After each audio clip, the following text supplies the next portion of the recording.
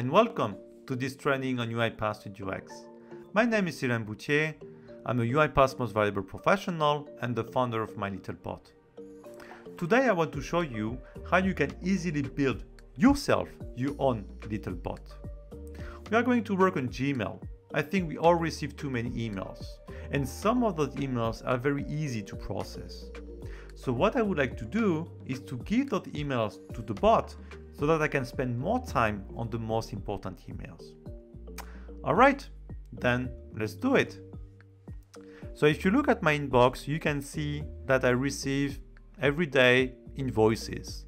And when I receive an invoice, I have two things to do. First, I need to send a reply to the sender. And second, I need to save the invoice here, the attachment, and to put it in a drive. So these are very repetitive tasks, very boring to perform.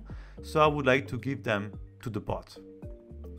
So here I'm on UiPath Studio X and this is where I'm going to build my bot. I'm going to tell the bot exactly what it has to do.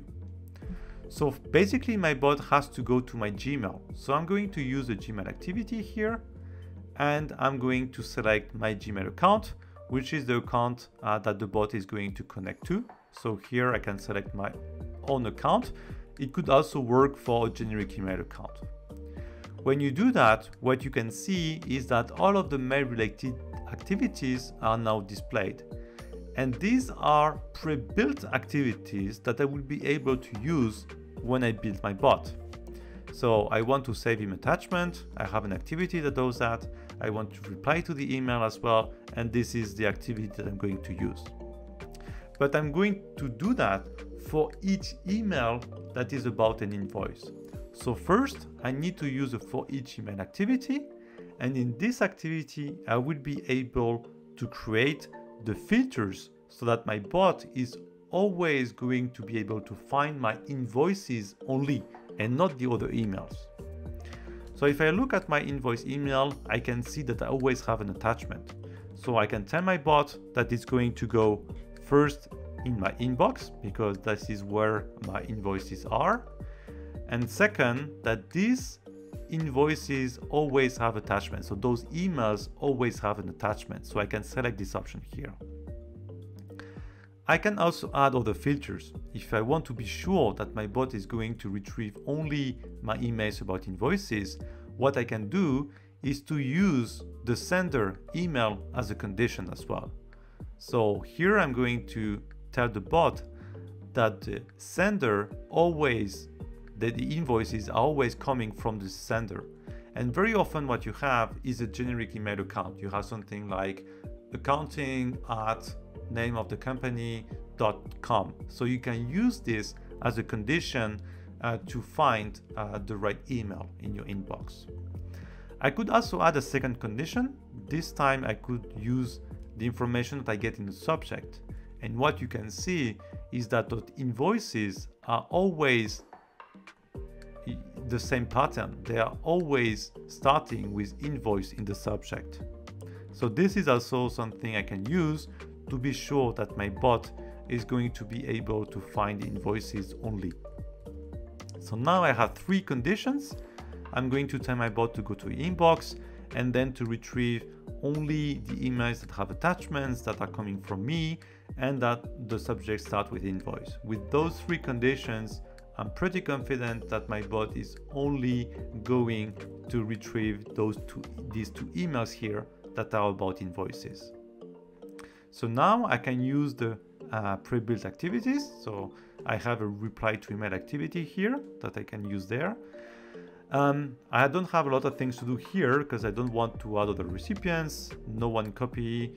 So I just need to write the reply that my bot is going to send. So here I can write a text message and this is the reply that the bot is going to send. So it's going to write, for example, hello, my bot is taking care of it because I'm very happy to have my own little bot. So this is the reply that the bot is going to send for every invoice it finds. I have to add the option to leave it as a draft. Uh, here I want my bot to send it directly, so I'm going to untick this box. And also what I need to do is to save the attachments. So now I'm using a save email attachment activity. And here I just need to indicate the folder where I want my bot to save the attachments. And here what I can do is to directly find my drive and there I can select my invoices folder where I want my bot to save the attachments. So this is how I can tell my bot to go to this drive and to save the attachments there. So now my bot is already done. Uh, I can click on the run button so that it can run and we can check the results. So what I'm going to expect is to have two replies from the bot because I have two invoices here in my inbox. So the bot is going to reply to the sender, which was me in that case. So I could get, I should get uh, the replies. And also I have my drive folder here where the bot is supposed to um, save the attachments as well. So I'm going to check that. My bot is running. I'm going to uh, be able to see it. Uh, I will get here a green rectangle uh, which shows that the bot is running. And you can imagine that you have a lot of use cases that are very similar to this one. If you're receiving like reports regularly, POs, you can build a bot that is going to facilitate your life. The only difference is that you're going to use different features uh, to find uh, the right emails. So now my bot is, is done. Uh, it was successful. So if I go to my inbox, I can see the reply from my bot with the message that we wrote together. My bot is taking care of it. And if I go to my drive, I can find the two attachments there. So I hope you enjoyed this video, uh, that it gave you a lot of ideas about automations that you can create.